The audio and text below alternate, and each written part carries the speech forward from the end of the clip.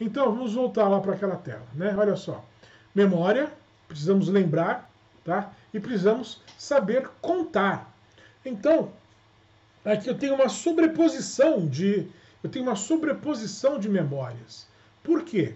Porque eu preciso lembrar que o Sol esteve naquela posição, tá? Depois naquela posição, naquela posição. E eu também preciso lembrar dos números. Eu preciso lembrar dos números. Então, como eu preciso lembrar dos números, ou nesse caso do trenzinho, eu preciso lembrar dos nomes, tá? O que, que eu estou fazendo? Eu estou combinando, combinando a mudança, a memória que eu tenho da mudança, com a memória que eu tenho dos números, para que eu possa assim contar, tá? Ou contar. Tá? Aí que fica a confusão. Quando eu falo contar o tempo, é que fica a confusão. Porque na verdade o que eu estou contando é a marcação do movimento. Aquela posição chama-se 7 horas, aquela posição chama-se 8 horas, aquela posição do Sol chama-se 9 horas. Tá? Então, o que, que eu estou contando? Tá? Eu estou contando as posições, as posições do ponteiro, as posições do trenzinho, tá? Ou seja, eu estou contando o movimento do Sol, estou contando o deslocamento do Sol, o deslocamento do, dos vagões do trenzinho.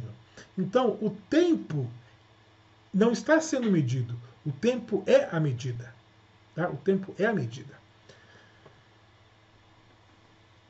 O tempo depende, em primeiro lugar, da memória humana. Em segundo lugar, da capacidade de contar. Em terceiro lugar, o tempo depende dos movimentos de rotação do planeta Terra ao redor do seu eixo imaginário e ao redor da estrela em torno da qual o planeta gravita, o Sol. Já dissemos isso. Mas o tempo também depende da nossa capacidade de perceber essas alterações se eu não sou capaz de perceber, se eu não consigo enxergar as alterações, né? se eu não consigo ouvir o tic-tac, tic-tac, tic-tac do relógio, se eu não consigo ouvir as alterações, ou ver as alterações, eu não vou conseguir perceber a mudança. Se eu não consigo perceber a mudança, eu não consigo contabilizar a mudança, não consigo medir a mudança. Tá? Então, tudo isso passa batido, porque nunca ninguém explicou para você como que é constituído o tempo. E a partir disso nós temos uma ideia ingênua de que o tempo existe desde sempre. Olha só essa pergunta que eu vou te fazer. Quanto tempo passou? Responde aí para mim, quanto tempo passou? A pergunta estava feita. Né? Por quê? Porque eu teria que te falar assim, ó, quanto tempo passou, desde quando? Né? Falar quanto tempo passou né? implica que é, é, é, tinha um começo para você começar a, a contar. Então, olha lá. Quando eu digo assim, que horas é agora? Que horas são agora? Aí você olha para o relógio e fala assim, são 5 horas da tarde. Não, vamos colocar assim, são 8 horas da manhã. Então, quando eu digo, quando eu pergunto que horas são, que horas é agora, e você me diz, são 8 horas da manhã, você está me dizendo que já se passaram oito horas desde a meia-noite. Tá? E desde a meia-noite aqui no Brasil. Em outro lugar pode ser que seja outro horário. Tá? Porque meia-noite lá é num momento diferente da meia-noite aqui. Então as contagens são, obviamente, relativas. Então, quando eu digo para você que horas, eu pergunto para você que horas é agora, na verdade eu estou perguntando quanto tempo passou desde a meia-noite até agora. É isso que eu quero saber. Né? Mas a gente não pergunta desse jeito. Por quê? Porque a nossa linguagem está mais fluida, ela está mais, mais, digamos, é... mais abreviada. Eu nunca vou perguntar na rua, ô meu amigo, quantas horas passaram desde a meia-noite? Né? Porque eu tenho que pegar um trem. Não, eu quero saber que horas que é agora, porque eu quero pegar o trem, eu sei que o trem sai às 8 horas da manhã. Tá? Então, então, qualquer pergunta sobre o horário diz respeito a uma quantidade, digamos, de tempo transcorrido desde um determinado ponto inicial. Então, olha só, eu posso perguntar que dia é hoje? O que eu estou perguntando, na verdade, é quanto tempo passou-se em dias desde o início do ano. Então, ah, hoje é dia 15 de janeiro, ou seja, então já passaram 15 dias. Ou seja, ou seja, significa que a Terra já deu 15 voltas ao redor de si. Né? Mas eu nunca vou perguntar para você assim, olha, é, quantas voltas a, a, Terra já deu ao redor de si? Né? Mas desde quando? Ah, desde do dia 1 de janeiro. Mas o dia 1 de janeiro também é uma contagem com relação a anos anteriores. Percebe? Então, é uma espécie de, de camadas de, de contabilização da, dos, dos movimentos dos próprios, dos próprios astros. Então, que ano é hoje? Né? Ou seja, eu estou perguntando isso. Então, quando eu te pergunto que ano é hoje, eu estou perguntando quanto tempo passou em anos né, desde o nascimento de Cristo. Porque você vai me falar assim, ó, é, hoje nós estamos no ano de 2021. Então, mas o que é 2021? Né? É, são 2021 anos, ou seja, são 2021 voltas da Terra ao redor do Sol desde o nascimento de Cristo. Essa que é a nossa contagem. Percebe? Então, é, a gente só consegue contar o tempo a partir de um, de um, de um momento inicial convencionado. Convencionado. Não existe, portanto, um tempo primordial que existiu desde sempre. Tá? Por quê? Porque o tempo para nós aqui é simplesmente a medida. E quando você mede alguma coisa, você mede de um, de um ponto a outro. Não tem como você medir de um lugar sem início tá, para um outro ponto qualquer. Me dá 30 centímetros. 30 centímetros de quê? Ah, de papel, de linha. Você vai começar num lugar e vai acabar em outro lugar. Tá? Então, Quanto tempo passou? Né? Essa foi a pergunta que eu fiz. Portanto, o tempo é o nome que damos à medida do deslocamento da areia dentro da ampulheta. Eu tenho uma ampulheta aqui. Portanto, o tempo é o nome que nós damos à medida do deslocamento da areia dentro da ampulheta. Se eu falar assim, se eu fizer isso aqui, ó, eu falo, posso falar que o tempo parou. Não porque eu parei de medir. Certo? Pronto, que o tempo está correndo. Tá? Então, o tempo é o próprio processo de é o próprio processo de mensuração. Tá bem? Por quê? Eu posso falar assim, olha, fica comigo. Fica comigo aqui um tempo. Vamos, vamos supor que eu recebo uma visita hoje. Eu falo assim, ah, fica aqui comigo. Né? Fica aqui comigo durante só o tempo da areia descer aqui para baixo. Então, o tempo é sempre comparação de um evento com outro evento. Os eventos, digamos, originais para a marcação do tempo são esses eventos do Sol, esses eventos da Lua, que são eventos, digamos, astronômicos, é, é, muito facilmente perceptíveis. Tá bem? Então nós sempre estamos, ao utilizar a marcação, a medida do tempo, Tá? Nós sempre estamos comparando um fenômeno com o outro. Não há, portanto, tempo se nós não compararmos algo da nossa vida com algo fora dela. Então, eu estou comparando o, o então, quando eu falo que eu tenho 53 anos, significa que eu já dei 53 voltas ao redor do Sol. Tá? Eu dei 53 voltas ao redor do Sol. E isso significa dizer que eu tenho 53 anos. Então, a minha, a minha, a minha idade, o meu tempo aqui de existência, ele corresponde o quê? Corresponde a esse número de voltas que o planeta deu ao redor do Sol. Foi assim que nós resolvemos medir o quê? Medir essa movimentação, tá? Ou a minha existência ou qualquer outro fenômeno. Agora, veja só, medir o tempo com ampulhetas, né? isso é obviamente algo muito ultrapassado. Né? Imagine só se cada um de nós andasse com uma ampulheta pendurada no pescoço né, para pegar um avião que sai de São Paulo e vai para Londres e depois vai para Moscou. Né? Seria absolutamente impossível é, termos é, ampulhetas, digamos, sincronizadas. Inclusive, eu acho até que eu contei essa piada aqui, né? Em Roma, na Roma antiga, se dizia o seguinte: é mais, é mais fácil os relógios de Roma estarem sincronizados do que os filósofos concordarem com alguma coisa.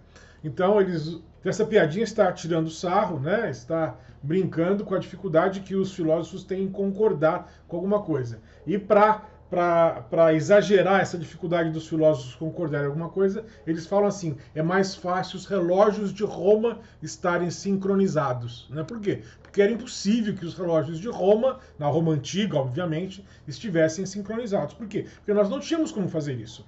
Então, um dos grandes feitos da humanidade, efetivamente, foi sincronizar o tempo, de modo que todos nós, todos os seres humanos, conseguem ter os seus relógios sincronizados. Tá? Então criamos um sistema internacional, universal, mundial, né? inicialmente, inicialmente a partir do movimento da rotação da Terra e da, transla da translação ao redor do Sol. Então nós criamos esses fusos horários né? e o chamado e o chamado tempo médio de Greenwich tá? que é definido é, é, exatamente pelo movimento de rotação da Terra.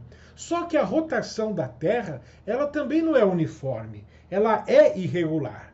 E como hoje nós vivemos num mundo tecnológico, num mundo onde há é, satélites em órbita, onde há aviões né, descendo e, e subindo em centenas de aeroportos pelo mundo todo, é, vias férreas funcionando, enfim, um sistema bancário, um sistema financeiro. Tudo isso depende de uma coordenação sincronizada do tempo. Então, nós criamos artificialmente, primeiro, esse tempo médio de Greenwich, que é irregular, ele tem falhas, ele não é exatamente muito preciso. E para superar essa dificuldade da inexatidão do sistema de Greenwich, nós criamos o chamado Tempo Universal Coordenado, o chamado UTC, que por sua vez é derivado do chamado Tempo Atômico Internacional. Então, quem é que tem o relógio atômico né, para coordenar os horários no mundo inteiro? Então, existe um escritório na França. Então, lá, ó, TAI, o TAI, é o Tempo Atômico Internacional, que é a escala de tempo calculada pelo Escritório Internacional de Pesos e Medidas na França, usando informações de cerca de 200 relógios atômicos de Césio 133 em mais de 50 laboratórios ao redor do mundo. Então, existe um sistema então, existe um sistema cuja finalidade é manter os relógios sincronizados. Então, hoje, nós não temos mais relógio de pulso com ponteiro, isso é muito raro. Né? Hoje, os sistemas de, de, de marcação do horário estão pautados pelos celulares. Os nossos celulares já vêm com o sistema de tempo embutido e sincronizado com esses sistemas mundiais de sincronização do tempo ou de sincronização dos relógios, né? Na verdade seria sincronização tá? da medida do tempo, ou seja, nós temos um sistema de uniformização de contagem. Hoje, para marcar o tempo, nós temos um sistema internacional uniformizado que sincroniza e conta o quê? Conta os 9 milhões 792 milhões 631 mil 770 pulsos ou radiações do Césio 133, quando ele passa de uma camada dos seus níveis hiperfinos de uma camada para outra dos seus níveis hiperfinos. Então nós temos o que hoje? Nós temos um sistema que conta, que sincroniza tá? esses chamados, esses dispositivos, esses chamados relógios atômicos. Tá? E é a partir dele, e é a partir desse sistema que os nossos celulares hoje estão sincronizados. E, portanto, temos um, um, um sistema universal, né? Universal é muito, né? Porque diria respeito ao universo todo, né? Mas temos um sistema planetário, um sistema que praticamente sincroniza com muita precisão, com muita exatidão, os relógios de quase todos nós que pelo menos temos um celular. Eu ainda tenho aqui uns relógios de ponteiro aqui, mas não uso, tá? Mas aí eu, eu, eu, eu confiro o horário do, do, do relógio de ponteiro com o horário do celular. Né? O que manda é o horário do celular, certo? Então, seria impossível termos uma vida social hoje, né, com a complexidade da nossa vida, se cada um tivesse um relógio é, num horário diferente. Se cada um tem um relógio num horário diferente, é, o relógio é algo inútil. Vai servir só de ornamento para enfeitar o seu braço. Tá? Aqui, então, se nós estamos aqui é, em quatro pessoas e queremos marcar um compromisso, nós só dois aqui vão acertar, ó, porque nesses dois aqui o horário é o mesmo. Nesses dois aqui o horário está diferente. Então, se essas quatro pessoas marcarem de se encontrar às 5 horas da tarde, esses dois aqui vão chegar às 5 horas da tarde no local combinado. Esses dois aqui não vão chegar, porque os horários, porque os relógios deles estão marcando, porque os ponteiros dos relógios deles estão em lugares diferentes. Tá? Então, falar que nós vamos nos encontrar às 5 horas lá no Parque Ibirapuera significa que nós vamos nos encontrar quando os ponteiros dos nossos relógios estiverem na mesma posição. Tá? Como os ponteiros desses relógios não estão na mesma posição, né, eles vão chegar em horários diferentes. E fazendo essa pesquisa aqui, eu encontrei esses relógios aqui. Eu tive esses três relógios quando estava na sétima série, quinta, sexta, sétima série, que eram relógios de joguinhos. Né? Então, olha só, nós saímos da ampulheta, saímos do relógio de ponteiro e nós fomos estilizando. Criamos aqui relógios digitais. Então aqui não tem ponteiro, aqui não tem areia, tá? Mas temos aqui números. Temos aqui números, certo? Que também, também dependem de um sistema externo para estarem sincronizados. Esses relógios têm mais de 30 anos. Esses relógios digitais, eles também atrasam, também adiantam. Então, na, na época que eu tinha esses relógios, o que, que eu fazia para acertar o horário do relógio? Eu ligava para a Telesp. Tinha um, era um 130, eu ligava 130 e lá eles diziam, Telesp informa, 8 horas e 48 minutos. Aí eu acertava o meu relógio digital com o relógio da Telesp. Então, Telesp, no caso, era a Companhia Telefônica do Estado de São Paulo, certo? Então, nós tínhamos uma central, um local central, que emitia um horário padronizado, tá? Então, hoje, essa central que emite esse horário padronizado é esse escritório francês.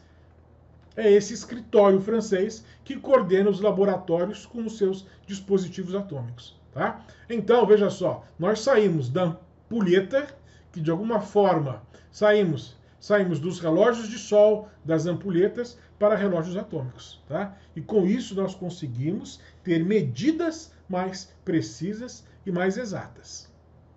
Então, portanto, o tempo é o nome que damos à medida do deslocamento da areia dentro da ampulheta. Tempo é o nome que damos à medida da parte iluminada de um dia. O tempo é a quantidade de dias de um calendário. O deslocamento, o movimento medido, é o que chamamos de duração, ou o próprio tempo. Mas não percebemos isso. E da forma como falamos, concluímos que o relógio mede o tempo. E nos escapa, né, não percebemos, que o tempo é que é a própria medida. Tá? Então, Rubens, mas o que, que isso tem a ver com a consciência? Exatamente isso que eu disse para você alguns minutos atrás. Da mesma forma que nós substancializamos tá, a consciência, é, passando a acreditar que ela existe dentro do nosso cérebro, nós também fazemos a mesma coisa com o tempo. Então, nós temos, nós substancializamos o tempo e acreditamos que o tempo está aí. O tempo pode ser capturado de alguma forma. Não percebemos a sua complexidade abstrata, tá? Mesmo porque o tempo é algo complexo, porque depende da memória, da mudança, da percepção da mudança e da contagem. Né? E nós não nos damos conta disso. Por quê? Porque nós nascemos numa cultura que já é marcada pelo tempo. Se nós tivéssemos nascido 500 anos atrás, a forma de abordarmos o tempo seria muito diferente, porque não teríamos relógios do jeito que nós temos, não teríamos celulares nem relógio de pulso, né? A, a, nossa experiência com o tempo seria uma experiência distinta da experiência que nós temos hoje. Então, os relógios medem o quê? Os relógios medem o movimento, medem a alteração, tá? medem o envelhecimento. E a percepção das alterações dependem da memória que percebe mudança. Tá? Se eu, por isso que eu perguntei lá com relação ao Henry Molaison, né? se ele não se percebe envelhecendo, né? se ele não consegue lembrar dele envelhecendo, o tempo não passa para ele. Né? Da mesma forma que ele também vai ter prejudicada a própria ideia de consciência dele mesmo, de consciência de si. Então, olha lá. O que os relógios medem? Os relógios medem a movimentação dos ponteiros. Tá? O relógio mede o movimento da queda da areia. O relógio mede o movimento da sombra do sol, tá? aquele relógio de sol. Né? O relógio mede o movimento da queda d'água, da clepsidra, que é um relógio de água. O relógio mede, olha só que coisa louca, a quantidade de ciclos de ondas eletromagnéticas entre dois níveis hiperfinos do Césio 133, que são 9 milhões, 9 bilhões 192 milhões 631.770 ciclos tá? de radiação do Césio 133. Então, depois de emitir 9 bilhões 192 milhões 631 mil 770 ciclos, como se fosse pulsos, nós padronizamos que isso equivale a um segundo. Então, um segundo hoje, essa é a medida mais exata que nós temos hoje do segundo. A unidade do segundo equivale a um movimento. Que movimento? Esse movimento de transição entre dois níveis hiperfinos do átomo de Césio. Que nessa, nessa transição pulsa, irradia, emite, emite 9 bilhões 192 milhões 631.770 pulsos ou ciclos. Tá? Então, temos aqui uma padronização muito mais técnica, muito mais exata. E nós temos ainda uma, e nós temos ainda uma medida que talvez seja o menor intervalo de tempo possível, que é o chamado um crono. O que é isso? É o menor intervalo de tempo possível, que separa a menor distância possível. Qual que é a menor distância possível? É a distância entre dois prótons. Então temos dois prótons, olha só, né? lá no, no coração do átomo nós temos dois prótons. Tá? E nós estamos conseguindo calcular, calcular, olha só, a, a, a duração, o intervalo, tá? que um raio de luz a 300 mil quilômetros por segundo demora para passar de um próton para o outro. Essa é a menor unidade de tempo possível que nós podemos encontrar. O que é o crono? É a unidade de medida que contabiliza o intervalo que a luz demora para cruzar de um próton para outro, sendo que a luz está a 300 mil quilômetros por segundo. Então, é um número né, que, que só pode ser de fato calculado com máquinas extremamente exatas, extremamente precisas. Para vocês verem, então, tudo isso aqui, tudo isso aqui para vocês verem como o tempo é convencional para esclarecer um pouco melhor essa ideia do crono como a menor unidade possível de tempo, nós temos que, na física, o tempo é o quê? É a distância percorrida tá? dividida pela velocidade. Tá? Ou a velocidade é, o, é a distância dividida pelo tempo. Então a gente pode ir trocando aí a, a ordem dos elementos que nos permitem fazer esse cálculo. Né? Então o tempo é a distância. Se existe distância, né, na física, nós estudávamos lá, né, espaço 1, espaço 2, ou delta S. Então, se a distância é porque alguma coisa saiu de um lugar e foi parar em outro lugar. Então, a mudança, a alteração. Tá? Uma alteração, portanto, que tem que ser perceptível, como nós dissemos ali. Então, se nós temos então, se nós temos esta ideia de que o tempo é a distância, né, a alteração, a mudança, dividida pela velocidade, o que, que nós precisamos ter para encontrar a menor unidade de tempo possível? Nós precisamos encontrar qual que é a menor distância conhecida. Qual que é a menor distância conhecida no universo? Qual que é a menor distância conhecida? Essa aqui, ó, é a distância entre dois prótons. Depois, dividir pelo que há de maior. Pegar o que há de menor e dividir pelo que há de maior. Qual que é a maior velocidade conhecida? Essa é fácil de responder. É a velocidade da luz. Então você pega a menor distância possível entre duas coisas do universo, e essa menor distância possível, portanto, é o espaço que existe entre dois prótons, tá? E pega a coisa mais rápida, mais célere, mais louca que tem no universo, né? Mais veloz, que é a própria luz. Então você pega o que há de mais rápido no universo e que é estável, não tem alterações, que é a velocidade da luz. 300 mil quilômetros por segundo. Então você pega algo absolutamente ínfimo, né, minúsculo, né, que é a distância entre dois prótons, e divide por 300 mil quilômetros por segundo. Essa unidade de tempo é a menor unidade de tempo possível. Tá? Para medir o crono, né, para medir, medir o crono, nós precisamos de duas coisas que estão distantes entre si. Tá? E as coisas que estão menos distantes entre si que nós conhecemos são dois prótons. Então não, não há uma distância menor que essa. Não há uma distância menor que essa. E entre um próton e o outro, a gente quer chegar de um próton no outro, nada mais, nada menos do que na velocidade da luz. tá? O ser humano é muito louco, né? Muito louco. Olha só onde nós chegamos. Aqui nós temos a história de Ulisses, né? Ulisses tem a sua história contada num livro chamado A Odisseia, porque Ulisses em grego é Odisseu. Então, é, Homero escreveu dois livros, a Ilíada e a Odisseia.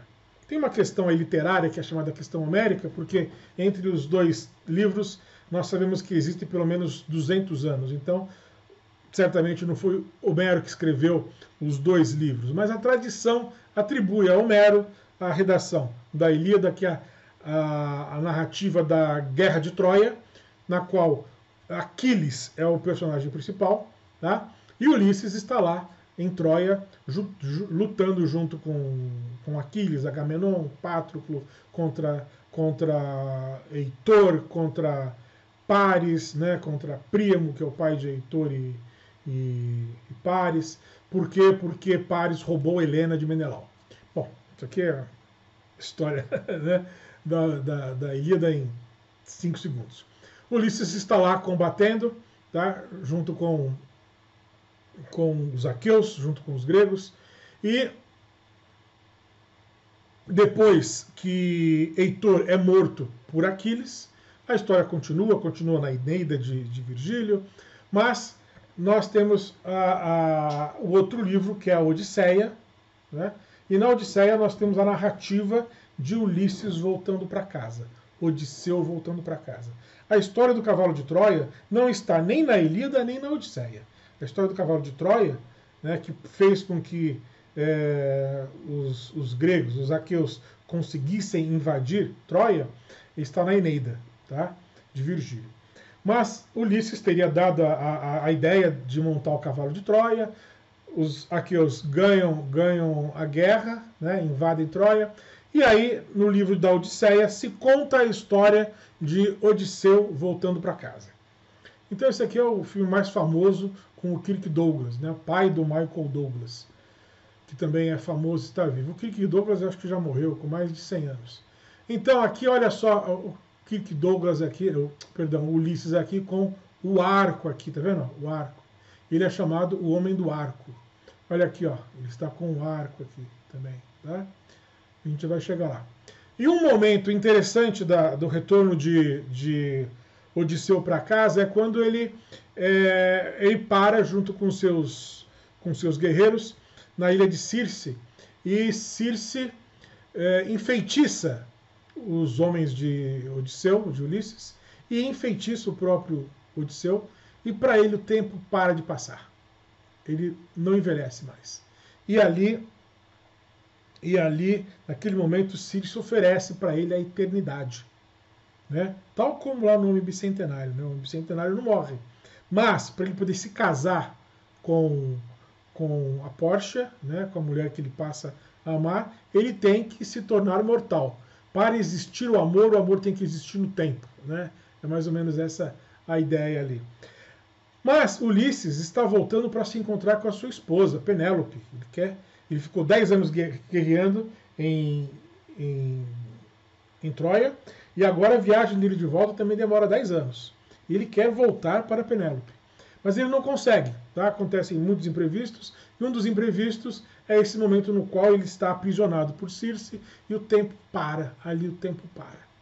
Tá? Ele não envelhece, os amigos deles, os amigos dele foram transformados em porcos, e, e mas a Circe não consegue, não consegue cativar o coração de Ulisses para para que ele fique ali de livre e espontânea vontade.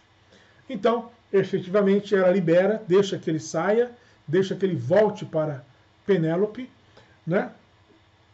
E aí a história continua e efetivamente vai chegar uma hora em que Ulisses vai chegar em Ítaca.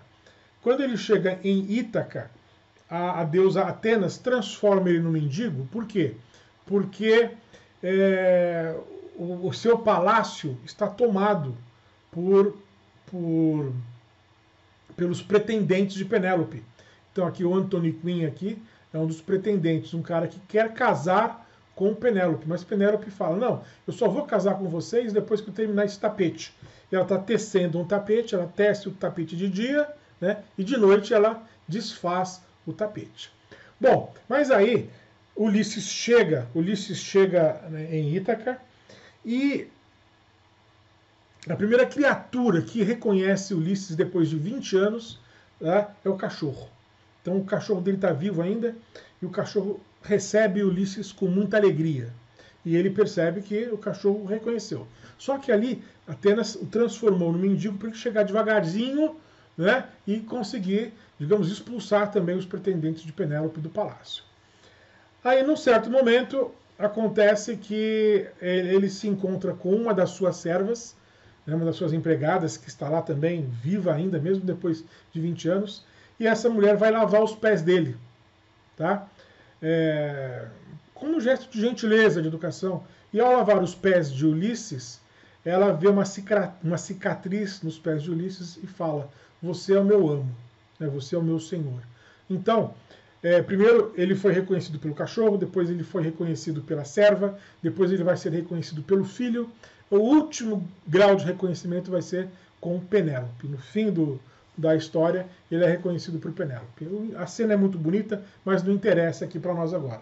A única coisa que interessa para mim, eu estou contextualizando isso para vocês, é a passagem em que o, ele se torna eterno, ou seja, o tempo para de passar para ele nessa história, obviamente fictícia e fabulosa. Né? Lá, naquele filme 2001, Uma Odisseia no Espaço, nós temos né? Obviamente, está no nome, está no nome aqui, uma Odisseia, né? que é uma, uma grande viagem. Tá? E está no nome também do próprio protagonista, né? o Homem do Arco. David Bowman é o Homem do Arco. Então, nas, no contexto da, das histórias né, do, do Arthur C. Clarke, né, que escreveu a 2001, 2010, 2031, 2061, são quatro textos, 2001, 2010, 2031, 2061.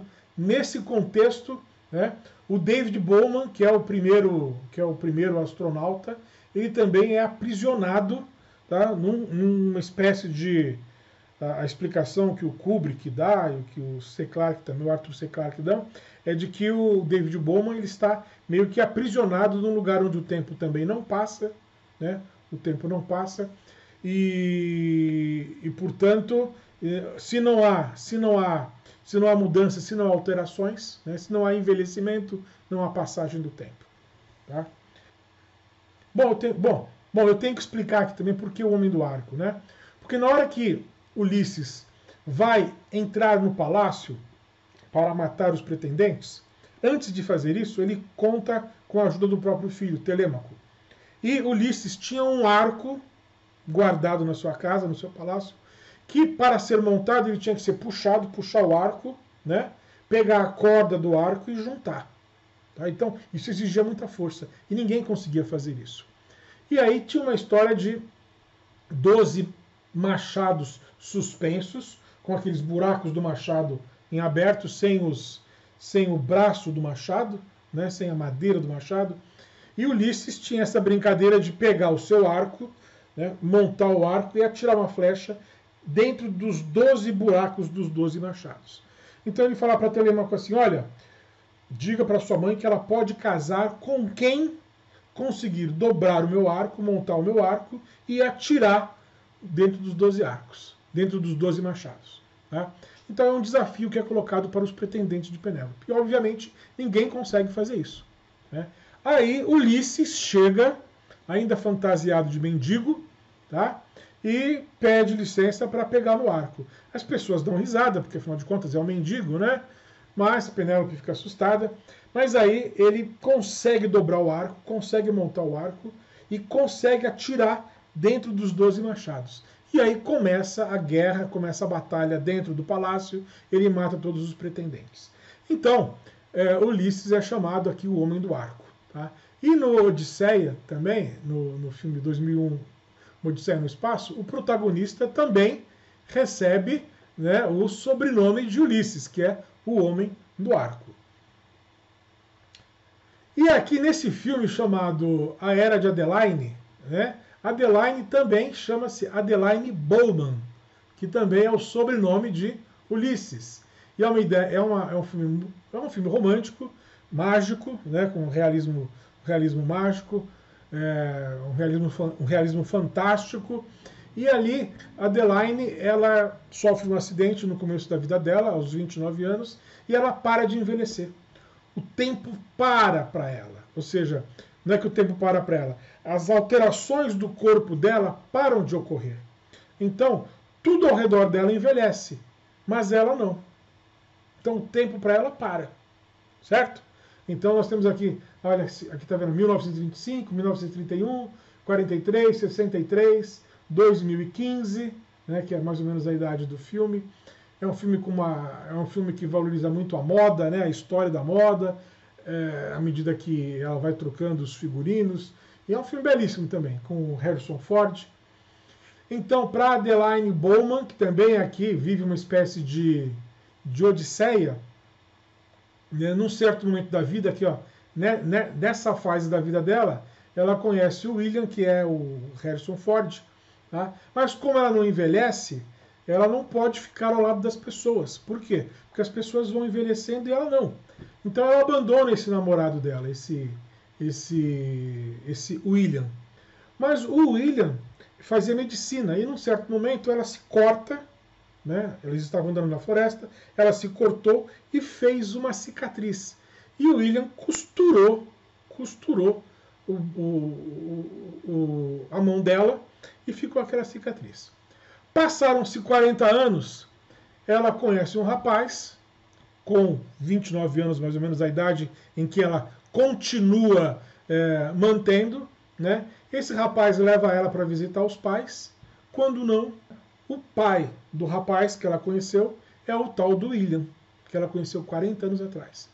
Aí o Harrison Ford fica louco, porque ele olha assim, né? E, e vê a antiga namorada dele, né? Igualzinha. Ele fala Adeline Bowman. Daí ela fala, não, é minha mãe. É minha mãe. Mentira, era ela mesma. E aí chega uma hora em que, sem querer, o William, que é o agora velho, antigo namorado dela que agora está velho, vê a cicatriz na mão dela. Então é a mesma cena, é a mesma cena da, do reconhecimento de Ulisses aqui na, na, na Odisseia. Né? O tempo parou para ela, mas a cicatriz permaneceu. Então a cicatriz permaneceu de, de marcador. E naquele momento o cara fala: Não, é você. Então é você. Né? Porque fui eu que costurei isso aí. Como que isso aconteceu? Né? Eu que estou 40 anos mais velho e você está como era 40 anos atrás. Então estou ilustrando isso para contar, para mostrar para vocês né, que né, nesses três filmes né, o tempo para de correr quando? Quando as mudanças param de acontecer. Tá?